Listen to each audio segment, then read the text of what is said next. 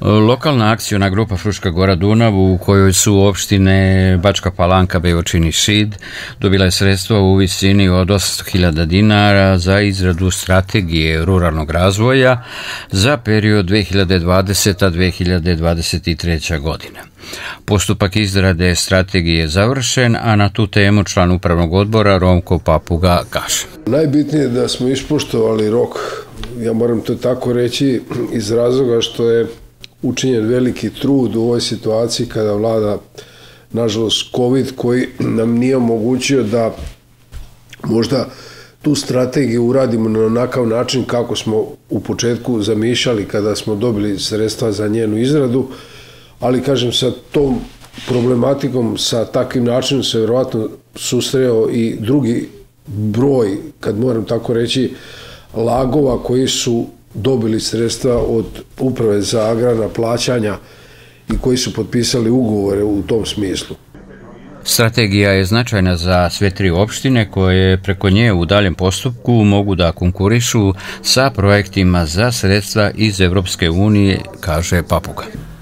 Naša je ocena da će kompletno to područje imati koriste od ove strategije, da će to biti odskočna daska, da se praktično ti neki mali, za početak, projekti koji se tiču ruralnog razvoja, bez obzira da li je u pitanju uh, ovaj segment koji se odnosi na uh, pojedine delatnosti kao što su uh, delatnosti koje imaju medari, vinogradari, voćari, udruženja žena ili nešto šire, a kažem, mnogo toga je obuhvaćeno, da će ti mali projekti moći da se na bazi te strategije i ovaj podnesu i da se konkurisu za sredstva koje daje Evropska unija.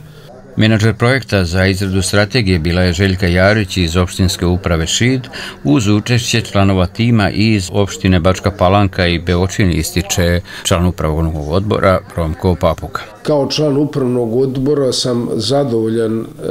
radom kompletnog upravnog odbora, kažem mnogo nam je u radu pomogao i menadžer Željka Jarić koju smo opredelili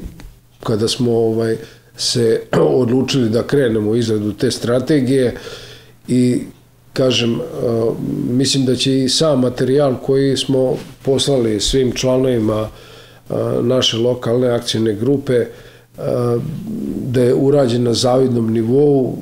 da ima deo i da, da kažem nekih slika koje će sve one koji budu imali priliku da vide tu strategiju da će podsjetiti, ako do sad nisu imali priliku, šta je to ono što bi možda trebali da obiđu na ovom području. Sredstva su realizovana putem konkursa preko Uprave za agrarna plaćanja Ministarstva poljoprivrede, a koje je i merodavno da oceni definisani dokument.